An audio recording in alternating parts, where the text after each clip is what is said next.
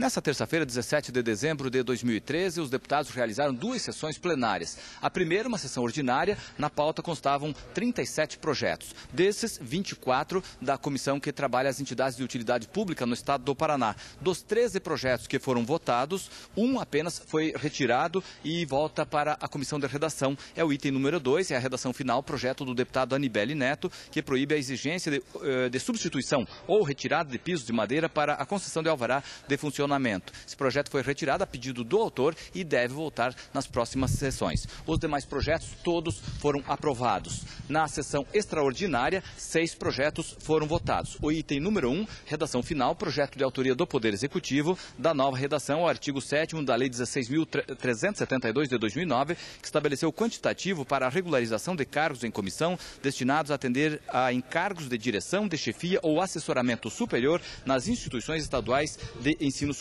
Projeto aprovado. O item número 2, também redação final, projeto de autoria do Poder Executivo, dispõe que Ambiental Paraná Florestas SA fica transformada em autarquia sob a denominação de Instituto de Florestas do Paraná, projeto aprovado. O item 3, também redação final, esse projeto de autoria do Tribunal de Contas, institui no âmbito do Tribunal de Contas do Estado o auxílio alimentação, projeto aprovado. O item 4, segunda discussão, projeto de autoria do Tribunal de Justiça, altera as tabelas do regimento de custas estabelecido na Lei Estadual Estadual 6.149, de 9 de setembro de 1970, e modificações posteriores. Projeto aprovado por 37 votos contra 1.